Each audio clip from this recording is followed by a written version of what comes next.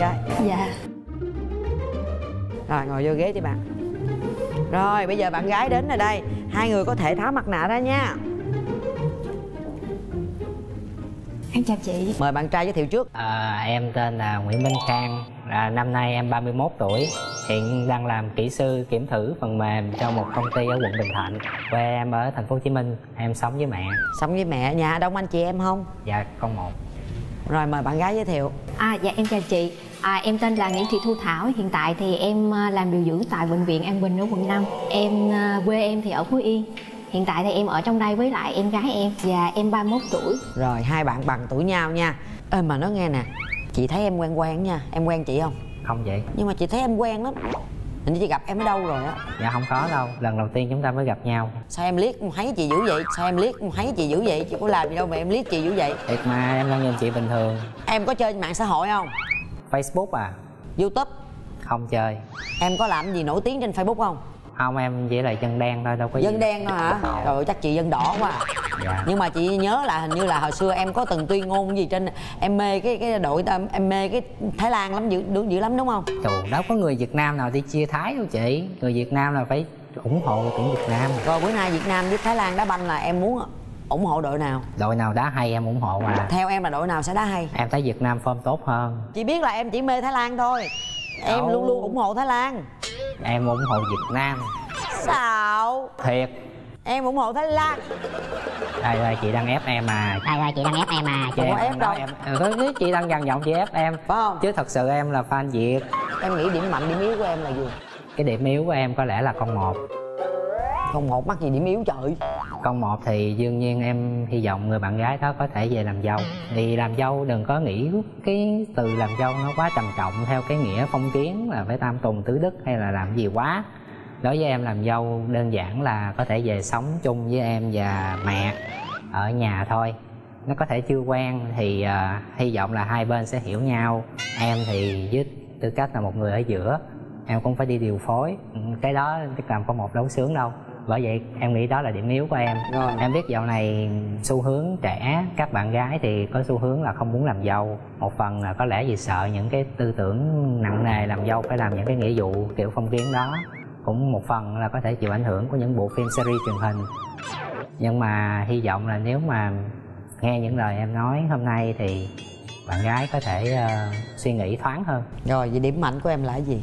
Điểm mạnh của em thì ờ, có lẽ là do công việc của em thì ờ, em là test em kiểm tra lỗi cho nên em là một người cẩn thận. Thì điểm mạnh của em là sự cẩn thận. Rồi. Ờ, với lại em cũng trầm tính. Ừ. em không có um, dễ mà nổi nóng. Khi mà có cái vấn đề gì mà Tranh cãi. tranh cãi á nhiều khi nó đi vô ngõ cụt á thì có thể nếu mà gặp người cọc tính thì họ sẽ quát mắng hoặc là động tay động chân. Nhưng mà em thì nếu bực quá em sẽ im không nói nữa. Rồi còn em nãy giờ nghe điểm mạnh điểm yếu của ảnh rồi đó. À, điểm mạnh của em á, là một người rất là thân thiện hòa đồng làm việc thì rất là nghiêm túc mà đi chơi thì cũng chơi hết mình. À, điểm yếu thì có một chút xíu là khi mà trước đám đông thì hơi nói chuyện nó hơi nhanh một chút xíu và cũng hay dễ tin người. Theo mà bạn bè nhận xét em á là một người phụ nữ của gia đình rất là hiền. Em có ngại làm dâu không? Ừ, dạ không. Biết nấu ăn không? Dạ biết. Chăm sóc gia đình tốt. Dạ. Vậy là tuyệt vời rồi. Em là mẫu người vợ lý tưởng của rất nhiều người đàn ông. Trên tinh thần trước mắt thì chị nhìn thấy như vậy ha rồi về tình duyên thì sao? Đường tình em trải qua bao nhiêu À, mối tình? mối tình của em thì có chính thức thì ba mối tình. Mối tình mối tình. đầu tiên thời sinh viên của em với mối tình thứ hai thì cũng được hai tháng. Mối tình đó. ngủ vậy? Mối tình đó thì bạn đó còn trẻ quá. Nghĩa là chỉ có quen nhau vậy thôi còn trẻ quá chưa có biết lo. Tính là mối tình thực sự của em thì là 4 năm 4 năm đó là cái mối tình sau cùng á. Dạ mối tình sau cùng 4 năm. Thì từ đó tới giờ thì em không quen ai em tập trung vào kiếm tiền thôi.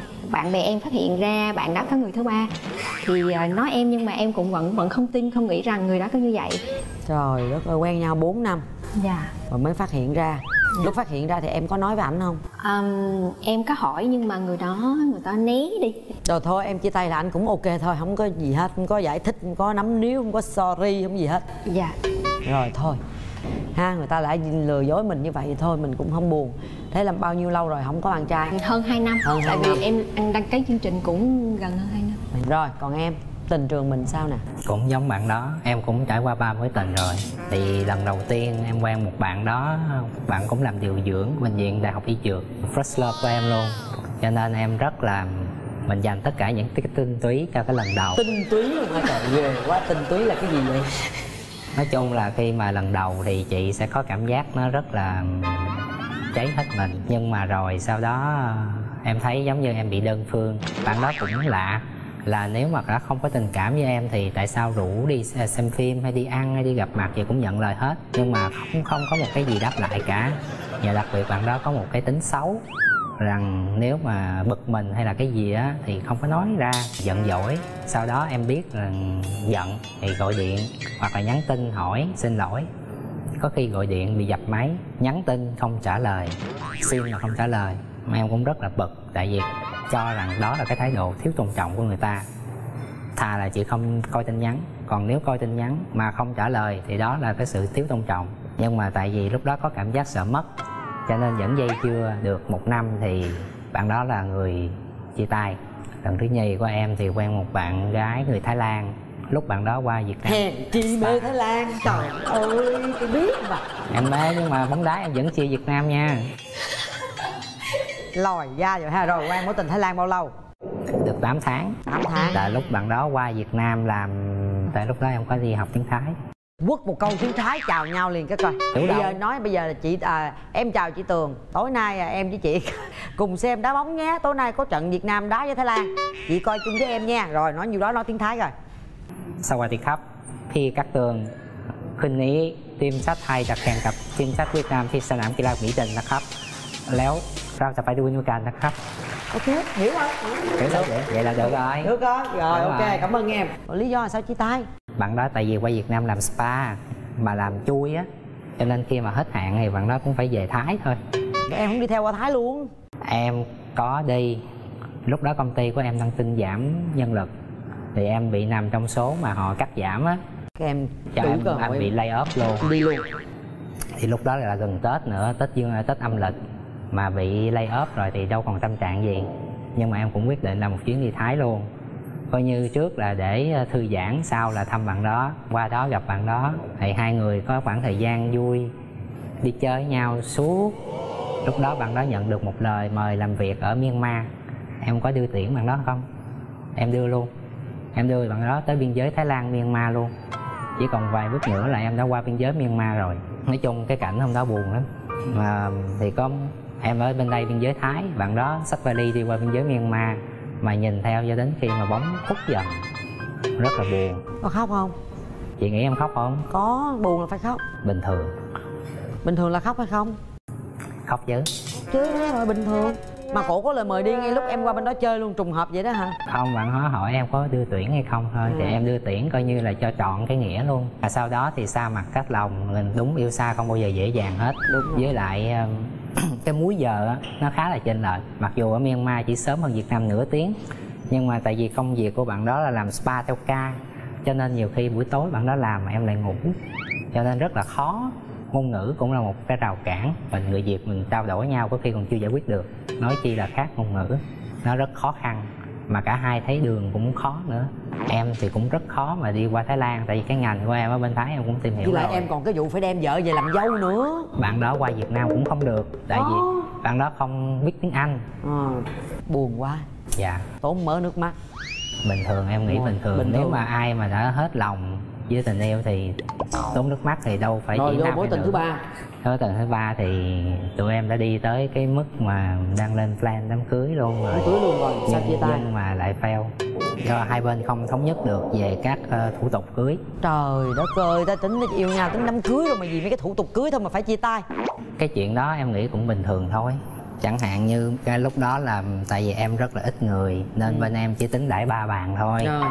nhưng bên bạn đó tới 15 bàn lận Ừ. là gấp 5 lần bên em luận rồi em thấy mời nhiều quá em mới nói có thể giảm bớt số bàn hay không ừ. cũng xuất phát từ ý tốt là muốn nếu mà mời nhiều quá thì không biết có kiểm soát được cái số lượng khách không á lỡ họ không tới hết thì bị lỗ em chỉ nói như thế thôi chứ hy vọng bạn đó hiểu theo ý tốt bạn đó cũng giảm nhưng mà từ 15 giảm xuống 13 bàn là có giảm rồi con số 13 đẹp rồi. Nhưng mà lúc đó bên em lại nghĩ rằng giảm giống như giảm cho có. Nó vẫn gấp hơn bên em tới 10 bàn lận nếu mà áp đảo như vậy thì bên nam có cảm thấy nó thoải mái hay không? Vậy thì bên nam mời nhiều lên đi. Mà nhiều hơn thì em không em đã cố gắng hết rồi nhưng bên em chỉ có như đó thì em môn quan hệ em hạn hẹp quá em bắt nhà gái người ta quan hệ hẹp theo bên em luôn sao được? Đám cưới người ta nuôi một đứa con gái lớn đẻ đãi có 10 bàn. 10 bàn có trăm mấy chục người mà giờ ba bên bạn bạn hè bên nội bạn bè bên ngoại rồi bạn bè của mình đủ thứ hết trơn. Cái này vấn đề từ nhà em chứ không phải vấn đề nhà bạn gái. Dạ cảm ơn chị đã nói. Chị đã nói luôn được cái cốt lõi rồi đó. Đó Đó. rồi bây giờ sắp tới đám cưới cũng là ba bàn nữa đúng không? Ừ bên em là kiểu gì thì cũng rồi bây giờ bạn giờ em muốn bạn nhà bạn gái là được mấy bàn đám cưới được đãi được mấy bàn? Nhiều khi cái ý của mình lại bị người ta hiểu là giống như là bị bị áp đặt. Thật sự em không áp đặt. Mấy bàn không quan trọng quan trọng là người đó đã có chơi có chịu. Nếu mà mời nhiều thì lỗ thì bên đó phải gánh hết thôi. Trời đất ơi. Chứ chứ không thể nào mà nếu mà mời nhiều lại biểu bên em bỏ tiền bù lỗ hay là sao đó em thấy thật sự không công bằng và không thỏa đáng. Khó quá hai bạn tự chừng nào tới đám cưới mà chị hỏi nhau cũng xa quá rồi chị ơi. Ờ, đâu có xa đâu em. Những cái chuyện đó mới là quyết định có gần hay không. Có gần mới có xa không có gần sao có xa được. Em muốn tìm người bạn trai như thế nào? À, không hút thuốc Ừ. không bụng bự không đầu hói. À, biết sống ờ, chia sẻ gia đình nói chung là một người biết hòa đồng hai bên gia đình. Rồi có được. công ăn việc làm ổn định. Em thì không hút thuốc rồi mà chỉ có hút thuốc thụ động thôi tức là người ta hút còn mình ngửi rượu bia thì em cũng không uống được cho em bị dị ứng với đồ đồ uống có cồn. Cái chuyện mà quan tâm đối phương á thì điều đó là hiển nhiên rồi. Em muốn tìm một mẫu người bạn gái như thế nào? Đầu tiên bạn đó có thể hiểu được cái băn khoăn lớn nhất của em là vấn đề làm dâu. Ừ. bạn đó đừng có bị ban mặc cảm làm dâu. Người bạn gái đó phải có công an việc làm ổn định. Và đặc biệt là nếu mà là người dân tỉnh á, thì đừng có làm một khoảng thời gian rồi sau đó trở lại tỉnh. Tại vì em bạn bạn của em đã gặp trường hợp đó rồi và bắt buộc phải chia tay. Có nghĩa là phải lập nghiệp tại thành phố Hồ Chí Minh. Và rồi bên đây ta ổn định công ăn việc làm ổn định nhà ta thành phố Hồ Chí Minh luôn. Chịu làm dâu luôn khỏi lo.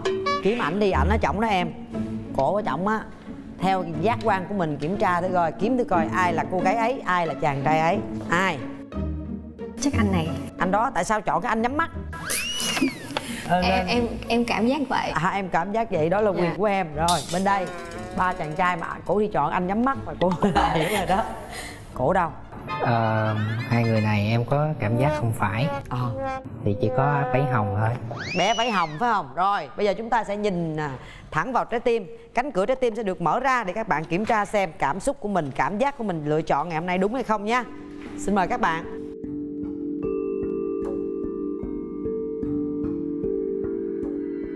chào anh. Chào em. sao em? Đúng sai. Sai rồi. Sai rồi. Em đúng hay sai? Dạ sai. Sai rồi. Nghĩ sao? Ta đi là- là làm quen với bạn gái mà ta đưa tấm hình người ta cho nhắm mắt người ta phải dìm hàng thằng bạn ai dìm hàng bản thân mình? Tặng bạn Ồ, cảm ơn các bạn. Mà cùng tuổi thì chắc xưng bạn. Cùng tuổi thì cùng tuổi chứ mình phải tự tin lên cùng tuổi vẫn anh em đàng hoàng. Không em xưng bạn. Ok em rồi sao? À, bữa nay mình gặp lần đầu tiên gặp bạn gái sao mình không có chuẩn bị quà hay cái bông cái hoa gì vậy em? Do em đi gấp từ ờ, công ty đi qua đây luôn. À vậy hả? Dạ. Phải có chuẩn bị trước từ sáng sớm chứ. Dạ không sáng sớm cũng đi làm sớm luôn. Vậy luôn hả? Bây giờ chị tường à, mời thức ăn của nhà hàng cho các bạn vừa ăn trưa cùng nhau vừa trò chuyện với nhau. Xin mời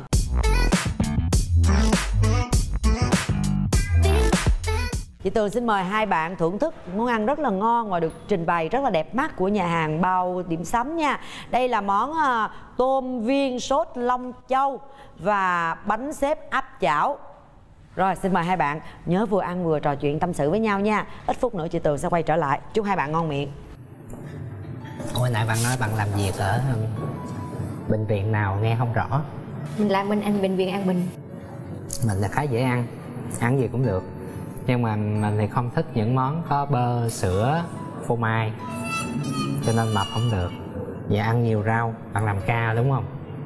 Bạn làm ca như vậy thì bạn có thời gian để dành cho một mối quan hệ không? Thật sự ra là nếu như mà mình muốn dành cho nhau á thì tất nhiên sẽ có thời gian thôi. Đúng rồi. Chứ không phải là không có thời gian. Tại vì gia đình mình cũng muốn mình lập gia đình trong với lại mình cũng muốn tìm một cái người mà có thể là chung là cùng hợp ý với mình mình phải hỏi câu đó tại vì có trường hợp mà những những bạn á họ cũng muốn lắm nhưng mà họ bận và họ cứ lấy lý do bận hoài à. Thì mình thấy điều đó nó không có thỏa đáng tại vì một khi mà đã dấn thân cho một cái mối quan hệ nào thì mình cũng phải có một sự ưu tiên nhất định. Mình phải tự sắp xếp thời gian. Hơn nữa cái điều đó cũng thể hiện rằng một người biết cân bằng giữa công việc và cuộc sống. Bạn có hay đi du lịch không? Có một năm đi một lần vào dịp tết bạn đi một mình hay là có dẫn mẹ đi cùng không? Không đi một mình tại vì mẹ mình không thích đi. Ừ, những thời gian rảnh á nếu mà bạn à, bạn không đi làm á thì Ừ. bạn làm gì? Thời gian rảnh của mình là hai ngày cuối tuần á. Thứ bảy chủ nhật ở nhà thì có những cái thú tiêu khiển như là trồng cây chăm sóc cá mèo hoặc là học ngoại ngữ. Nếu mà bạn bè có rủ đi cà phê thì đi. Bạn có biết nấu ăn không? Biết một số món đơn giản thôi ví dụ như đậu rồng xào tép hoặc rau muống xào tương. Nói chung những món nào có liên quan tới rau thì biết. Nãy giờ có bàn vụ đám cưới không? Dạ chưa chị. Bàn nó coi đãi mấy bàn kìa coi được không? Đồ ăn ngon không em. Ngon chị tại em đang đói mà. À, ngon đang đói đúng không? Bây giờ thì tường sẽ mời hai bạn à, bóc những lá bài của chương trình đã chuẩn bị sẵn có những câu hỏi khá vui trong này để chúng ta có thể có cơ hội tiếp xúc với nhau và hiểu nhau nhiều hơn. Mời bạn trai thể hiện một hành động lãng mạn để tỏ tình đối phương. Mời em qua đây. Làm luôn. Làm luôn chứ chừng nào làm nữa? Mà em làm IT nên em khô khan lắm. Thì mình phải thử. Đó nhanh lẹ hết sức không? Ai, trời. Ơi ông đi tỏ tình mà ông thở ra ông đi tỏ tình mà ông thở ra. Ông làm như ông tỏ tình giùm cho tôi vậy trời. Cái này, cái này khó quá. Sau khoảng thời gian tìm hiểu thì bây giờ mình thấy là cả hai rất là tương đồng có những ý kiến giống nhau mình có thể làm bạn trai của bạn được hay không? Cho mình suy nghĩ chút. Nói tiếp đi chưa chưa thuyết phục được mình. À lời thuyết phục đâu phải là ở những lời nói đâu. Không lẽ trong khoảng thời gian tìm hiểu bạn không cảm nhận được điều đó? À, có thể cảm nhận nhưng mà giờ phút quan trọng bạn phải nhấn một điểm mạnh gì đó để có nghĩa là bạn phải có một cái điểm gì mà phải thật sự là điểm riêng của bạn để nhấn vào cái đó thì mình mới à, lay động được mình ờ nếu kiểu như nếu như mà em đồng ý làm bạn gái anh thì anh sẽ làm gì làm gì đồ? Thấy em là người như thế nào, như thế nào? Trong lòng anh ra sao ra sao vậy đó? Nó thuyết phục chút nói gì đâu, ngoài dòng không. Nói chung thì ờ, mình thì không có giỏi về mồm mép, không có giỏi về mồm mép. Những lời của mình là chân phương. Nhưng mà nếu bạn cũng cảm nhận được mình là người như thế nào trong khoảng thời gian quen biết với nhau rồi, mình thì không giàu. Nhưng mà không giàu về tài chính nhưng mà có thể giàu về tình cảm. Nếu bạn tìm một người mà để đồng hành đi suốt cuộc đời thì mình nghĩ mình có thể trở thành một đối tượng đó được. Với lại mình tôn trọng bạn và mình yêu thương bạn vì bạn là chính bạn vì bạn là chính bạn. Ai, chốt câu này cũng hay. Rồi được rồi cảm ơn em. À. hay rồi đó cái câu cuối đó chị thấy hay rồi đó. Dạ be yourself. Rồi tới phiên bạn gái. Mời em Rồi đọc lớn lên giùm cho chị Tường luôn.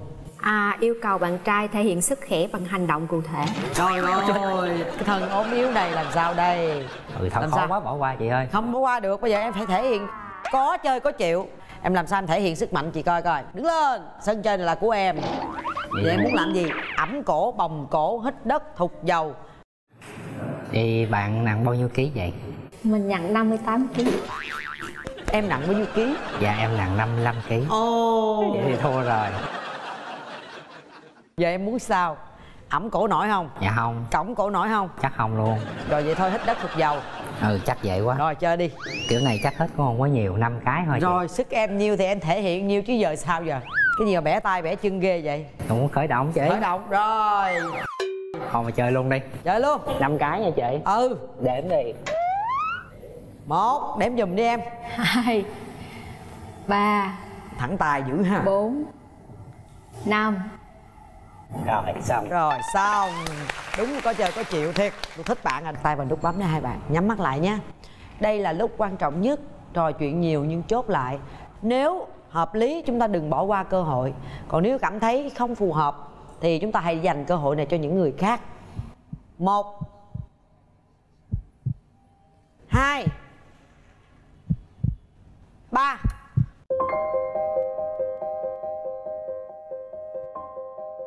À, Sao bạn gái là không bấm nút? Cái cảm giác mà gặp bạn đó thì không có một cái điểm nhấn gì cho em để em thích được bạn ấy. Rồi rất là tiếc vì Tường không làm được tròn trách nhiệm của mình ngày hôm nay. Cố gắng tìm được một nửa của mình. Rồi Về báo hiếu với mẹ ha. Sớm sớm đừng để mẹ chờ lâu. Còn sinh ngày 1 tháng 11 1981 mình đang làm cửa hàng trưởng của cửa hàng xăng dầu thuộc hệ thống xăng dầu Petrolimex ờ, nhà mình ở chung cư Belaza quận 7 mình hiện là mẹ đơn thân có con gái là 16 tuổi. À, mẹ đơn thân có con gái 16 tuổi. Rồi chị um, chị Dung là một ờ, người như thế nào? Chị có điểm mạnh điểm yếu ra sao ạ? Ừm, điểm mạnh thì là dạng như là điềm đạm nhỏ nhẹ còn điểm yếu là cả nể. Dạ. Um, chị có văn nghệ ca hát gì không? Có tài lẻ gì không? Không mình không có tài lẻ. Dạ rồi. Um, chị um, mình chia sẻ cho em một chút xíu về cuộc hôn nhân mà chị đã trải qua nhé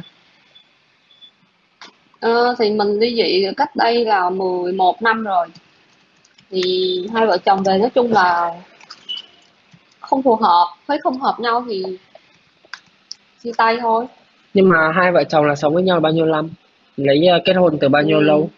Chị kết hôn năm 2007 kết hôn được 5 năm. Kết hôn 5 năm. À, vâng vì cái lý do gì? Chứ um, kết hôn 5 năm thì bảo là không hợp thì nó chưa thuyết phục với chị. Nó Ờ, phát sinh nó- nhiều mâu thuẫn kiểu như là vâng ở vấn đề nào đó là chính á chung là chị thì tính chị thì nhiều khi á, có vấn đề gì chị cũng ít nói á thành ra là đâm ra nó nhiều khi nó tích tụ á. Rồi đâm ra là nó bùng phát thôi thì nói chung là chồng thì ờ, có mình thì ai cũng có cái ưu điểm khuyết điểm. Nhưng mà mình cảm thấy mình không chịu đựng nữa không tiếp tục nữa cho nên là mình như vậy thôi. Chị thấy um, ở cái uh, trong cái uh, lý do mà ly hôn ấy thì anh đấy là anh ấy có một cái uh, vấn đề gì không? Mà tại vì bọn em phải hỏi những này để tìm cái người mới cho chị nó tốt hơn á. Thì chị thấy Ok. anh ấy có vấn đề gì? Ở phía anh ấy. Ờ, nói chung không có cái sự chia sẻ không có sự Ờ, chia sẻ. mọi việc là cũng tự bản thân một mình chị. Ờ, nói chung là phải nói sao nè nói chung là không có cái tính ờ, tự lập á không có tự chủ không có quyết đoán cũng hơi lệ thuộc vào gia đình. À, nên mọi việc là chỉ có một mình chị chị tự ờ, quyết. Rồi trong vấn đề con cái như vậy rồi. thì cũng chỉ Mà- có một mình mình chị. Dạ. mà bản thân chị thì lại ít chia sẻ đúng không? Đúng rồi rất Dạ. thích chia sẻ. Chị tại vì là chị chị nói một hai lần không được thành ra đâm ra chị cũng không nói. Cho nên chị cũng không muốn là mình gây gỗ chứ cha mẹ mà gây gỗ trước mặt con gái thì nó sẽ không có hay chị không Dạ. muốn con chị nó thấy như vậy Dạ. Vậy thì à, mình à, ly dị cách đây 11 năm rồi thì không biết là chị đã có những cái mối quan hệ tiếp theo chưa? chưa em ơi chị có đi làm công việc. Nhưng nhưng mà chắc chắn là cũng phải có ông này ông kia tán tỉnh chị chứ nhỉ? không tại vì thực ra là chị là làm ở trong xăng dầu thì chị chỉ có ở trong ngành thôi chứ chị cũng không có giao tiếp gì nhiều Bản bản bản bản thân của chị nhiều khi trong cuộc sống ấy chị có cảm thấy cô đơn không? Xong rồi nhiều khi chị muốn tìm một cái ai cùng chị gánh vác cái công việc đấy không? cũng có những thì đến thời điểm bây giờ thì là cần À. Nhưng mà trước giờ là không không không hề nghĩ tới và cũng không có nhu cầu tiến thêm bước nữa à? không Tập trung vào làm thôi. phải lo cho con thì bây giờ nói chung là con nó cũng lớn rồi lúc trước con nó còn nhỏ đó cho nên là mình chị cũng không có nghĩ tới chỉ có đi làm rồi cố gắng phấn đấu trong công việc hồi trước thì là chị là làm kế toán À. Ừ, xong rồi sau khi ly dị thì chị mới tập trung vào công việc chị phấn đấu lên thì bây giờ chị là cửa hàng trưởng chị quản lý cây xăng Dạ vâng, nghĩa là tập trung hết vào công việc rồi. Ờ, không biết là con chị bây giờ 16 tuổi rồi thì ờ, cháu nó có ý kiến sao về cái việc mẹ ờ, đi thêm bước nữa chưa?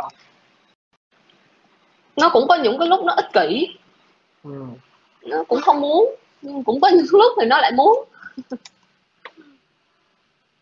Hiện tại là nó đang muốn hay không muốn? bây giờ là nó để cho mẹ tự quyết À. Rồi, chị bây giờ chị cần một người đàn ông như thế nào? nói chung là tự chủ ờ, quyết đoán không có lệ thuộc hay dựa dẫm vào ai hết Ờ. là trụ cột. À, trụ cột. Ờ, ngoại hình một chút xíu. Chị thích thích mẫu người đàn ông có ngoại hình như thế nào? Ờ, trên một mét sáu giùm chị. Dạ.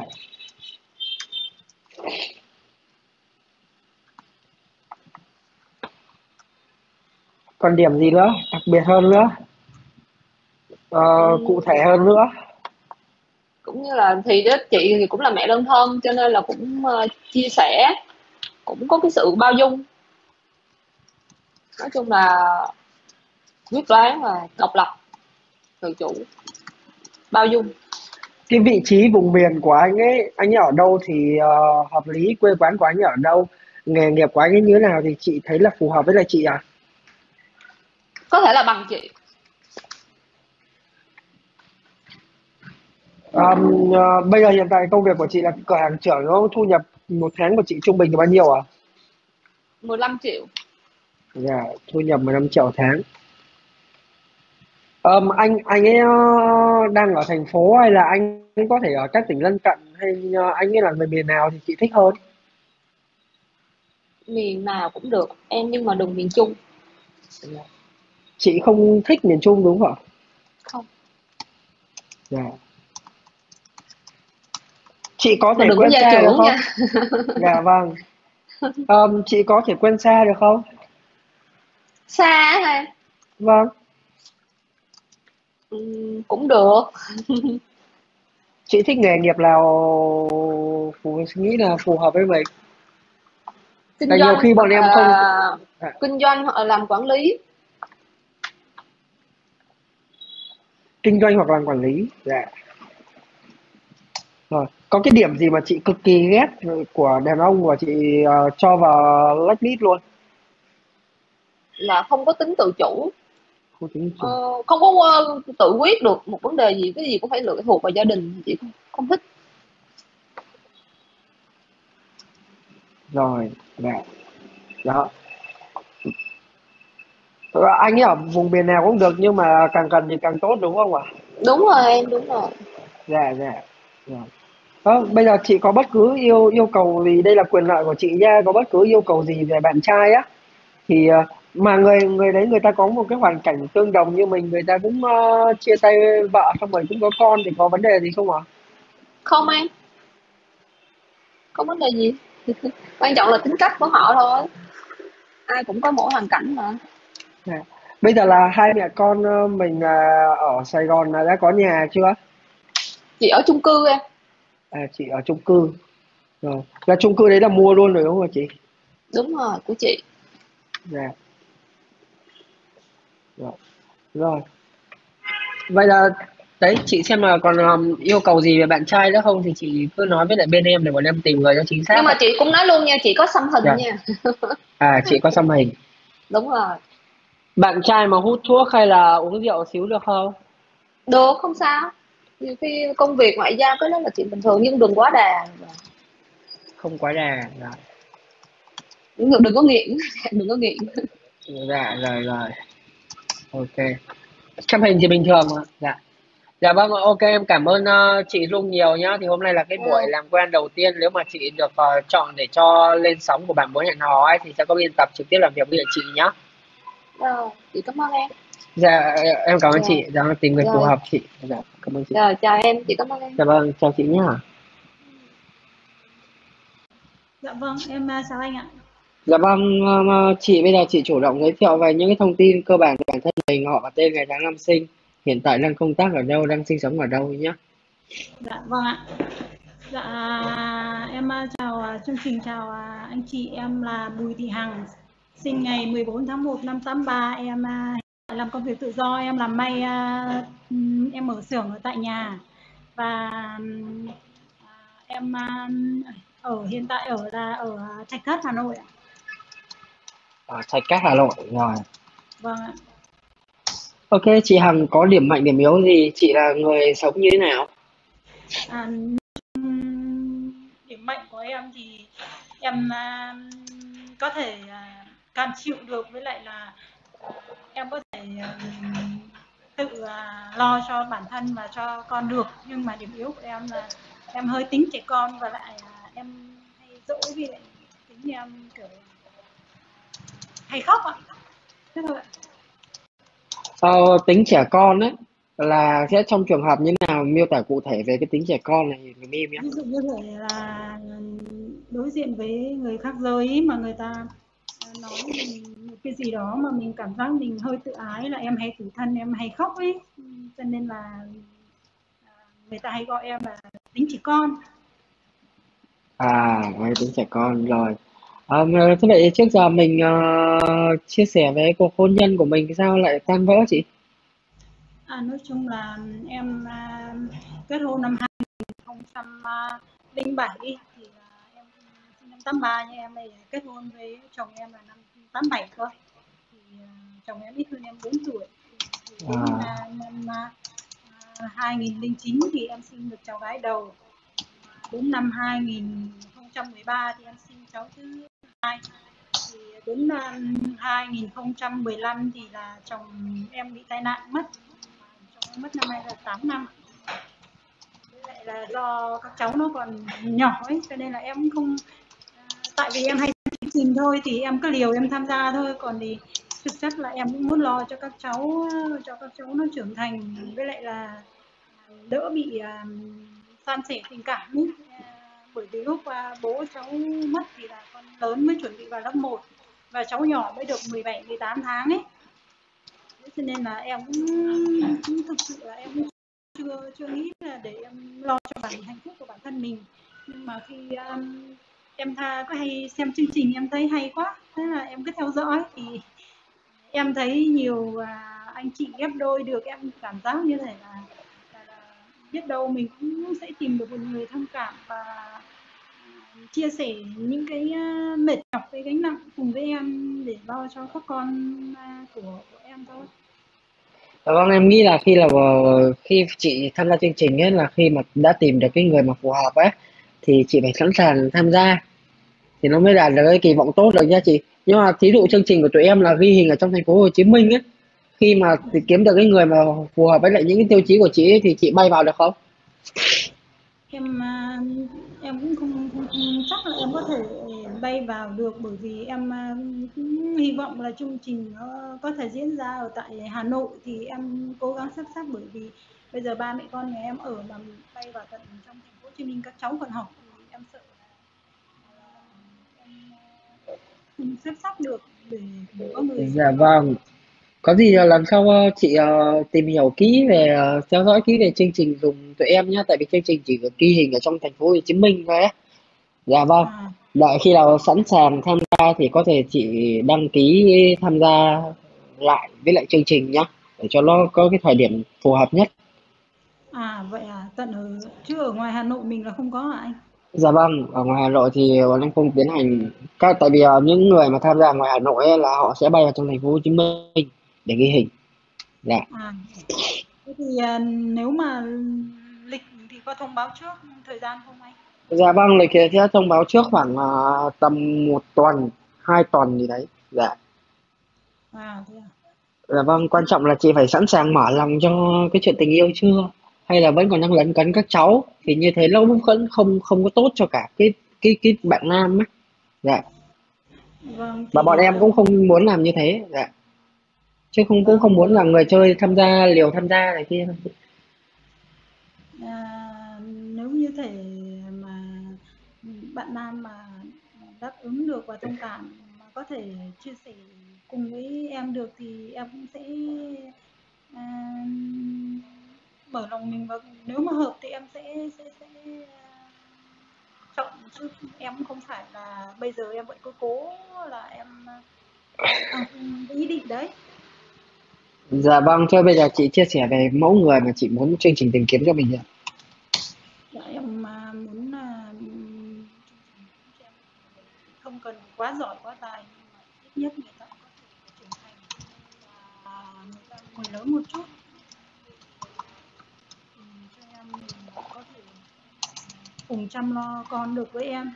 Thì ờ, những cái tiêu chí khác thì em không cần là phải giỏi giang phải đẹp trai hay là phải giàu có gì cả. Ít nhất là cũng phải lo được ờ, nghĩa là cũng lo được cho ba mẹ con có một cuộc sống ờ, quá khó khăn thế là được thôi. Là làm uh, lo kinh tế cho cả cho ba mẹ con cùng một cuộc sống tốt đúng không ạ? Vâng à, người ta trưởng thành một chút là được ạ. Độ tuổi sao chị? Mẹ chờ con tí. Có ạ. À, độ tuổi từ um, 50 trở về. Bởi vì em cũng 40 rồi. Rồi. Vâng. Ô, chị mong muốn là có người mà có nghề nghiệp như nào thì chị nghĩ là phù hợp với chị chỉ cần người ta có công việc nó ổn định một chút thôi chứ không phải là người này người nọ. Chỉ cần người ta công việc người ta ổn định và cũng có thể gắn góp được gia đình như người khác. Người ta đừng có rượu chè cờ bạc hay là à, ăn chơi là những cái người là là em sợ. Vì trước kia chồng em ăn chơi cho nên là em sợ. Thì đấy là lý do mà mà từ ngày đến giờ em à, không không dám nghĩ đến yêu ai và lấy ai. Rồi. Rồi ok em em cảm ơn chị Hằng nhá. Thì hôm nay là cái buổi ờ, giao lưu đầu tiên để mà làm quen. Nếu mà tụi em có tìm được cái người phù hợp ấy thì bên chương trình sẽ liên hệ lại với chị để mà tiếp tục tính đến cái việc mà lịch vào ghi hình của chị nhá. Dạ dạ vâng ạ. Đó là kiểu em cảm ơn chị nhiều ạ